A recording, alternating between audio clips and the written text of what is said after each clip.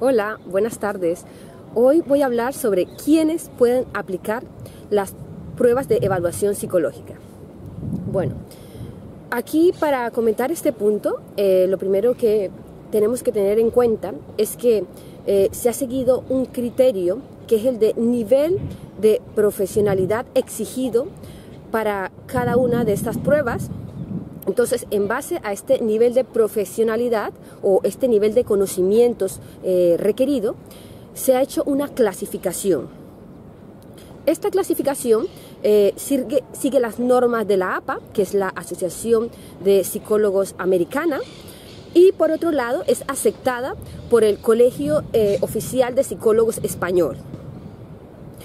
Entonces, este, esta clasificación sigue tres niveles.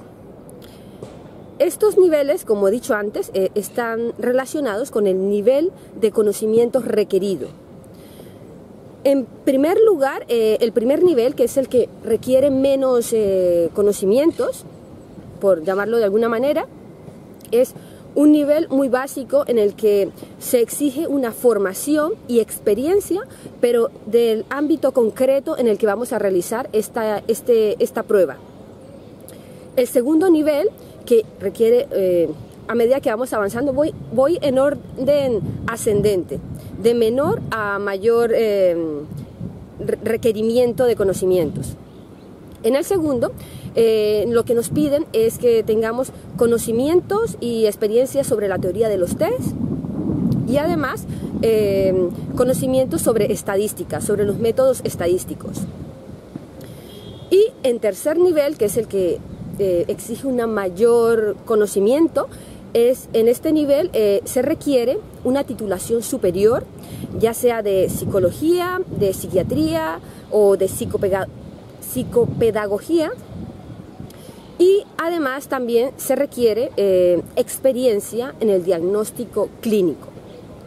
Bueno, esto ha sido como la introducción. Ahora voy a desarrollar un poco cada uno de estos niveles. Voy a empezar por el primero, que es el nivel em, en el que se exige eh, conocimientos, eh, pero del ámbito específico en el que se realiza el test. Bueno, en este caso, eh, con las instrucciones que nos facilita el manual, y además con poseer algunos conocimientos relacionados con el, con el tema o, de, de, lo que se trata el test, la temática del test, sería suficiente para realizar eh, este test correctamente. Aquí voy a poner un ejemplo que podría ser un test de una prueba de rendimiento. Las pruebas de rendimiento eh, son aquellas en las que tratamos de medir las capacidades del sujeto o, el desempeño del sujeto eh, realizando actividades o, o utilizando actividades, perdón, Aquí me, he enredado un poco. A ver, las pruebas de rendimiento eh, nos permiten evaluar al sujeto en aquellas habilidades o conocimientos que ya posee. O sea, nos, eh, eh, permite evaluar su rendimiento. Entonces, como un ejemplo más mm, práctico para entender este nivel de, requerimiento, sería, por ejemplo, un test de rendimiento podría ser un test en el que intentamos evaluar eh, el desempeño de un sujeto en una situación de estrés laboral, por ejemplo.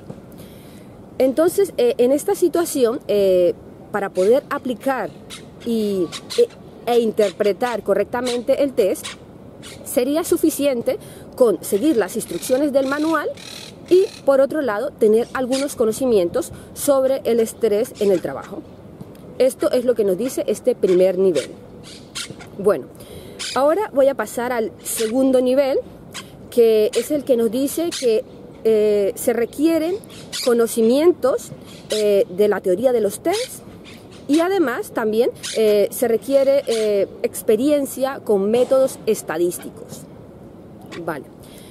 Esto lo que nos quiere decir es que es necesario para poder realizar correctamente este test, o sea, eh, aplicarlo y, e interpretarlo, es necesario eh, tener conocimientos de cómo se utilizan y cómo se aplican los tests.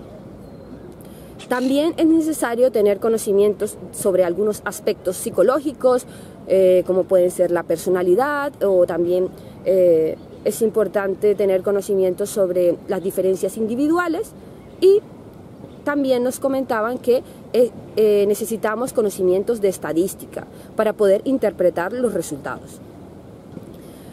Tal vez con un ejemplo se, se entienda un poco mejor este nivel. En este caso voy a usar como ejemplo los cuestionarios de personalidad.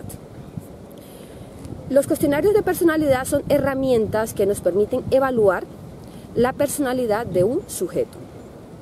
Estos cuestionarios son muy conocidos porque eh, se suelen utilizar mucho en el ámbito de diagnóstico clínico y también en las pruebas de selección de personal en las empresas.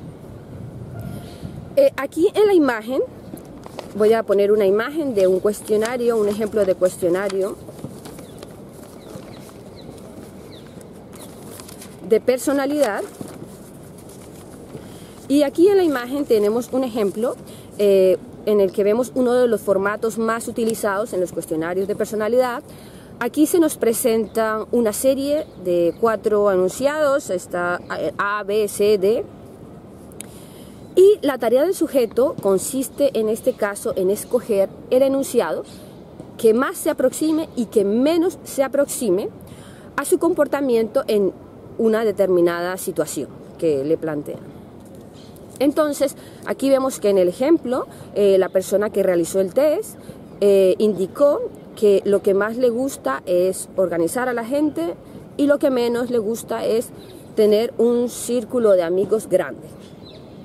Bueno, aquí solo comentar que una característica de los test de personalidad o los cuestionarios de personalidad es que no existen respuestas correctas e incorrectas. No, eh, simplemente intentamos evaluar la personalidad del individuo.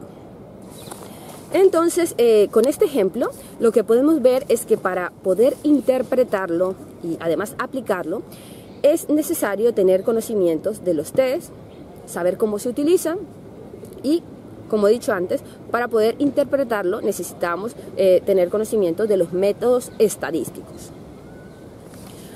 Ahora voy a pasar al tercer nivel, que es el que requiere un mayor nivel de conocimientos, un nivel mayor de profesionalidad.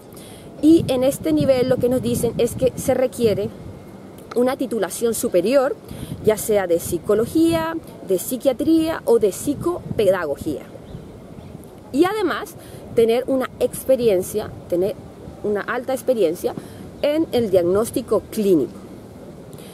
Bueno, a ver, en realidad en el punto anterior ya nos decía que debíamos tener conocimientos sobre la utilización de los test, pero en este punto eh, se utiliza, se necesita tener unos conocimientos pero mucho más profundos, o sea, ya de un sentido más especializado y además tener una experiencia, una alta experiencia en la aplicación de estos diferentes test. Aquí voy a poner como ejemplo eh, las pruebas proyectivas, que son eh, un tipo de pruebas en las que el sujeto, el sujeto evaluado, desconoce eh, qué dimensión de la personalidad le están evaluando. Entonces, es, es difícil que el individuo o que el sujeto pueda eh, falsear o pueda modificar su respuesta conscientemente. Un ejemplo de prueba proyectiva podría ser el, test de Rorschach, que consiste en una herramienta que nos permite o que intenta eh, evaluar la personalidad de una persona. Esta prueba consiste en 10 láminas en las cuales hay unas manchas de tintas y eh, se caracteriza porque es una prueba muy ambigua y muy poco estructurada. Aquí en la imagen eh, enseñaré la primera lámina del test de Rorschach eh, para que nos hagamos una idea a, qué se refiere estas, estas manchas de tinta.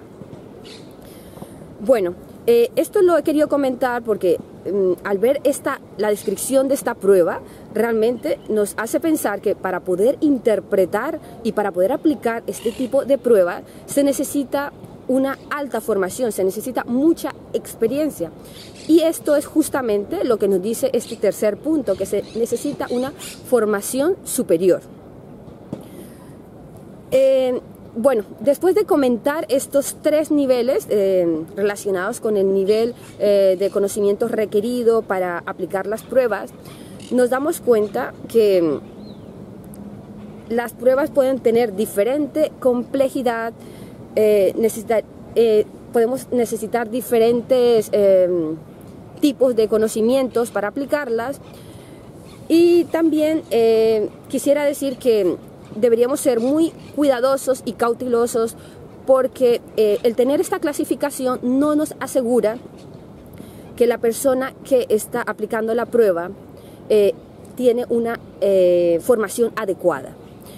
Entonces, lo mejor o es muy importante trabajar en esto porque de nada sirve que eh, construyamos unas pruebas magníficas para medir los eh, fenómenos mentales. Eh, de nada sirven los avances tecnológicos que tenemos hoy en día en informática que nos permiten corregir las pruebas mm, a una velocidad inimaginable si no aplicamos correctamente las pruebas, si no utilizamos la metodología adecuada para aplicar las pruebas.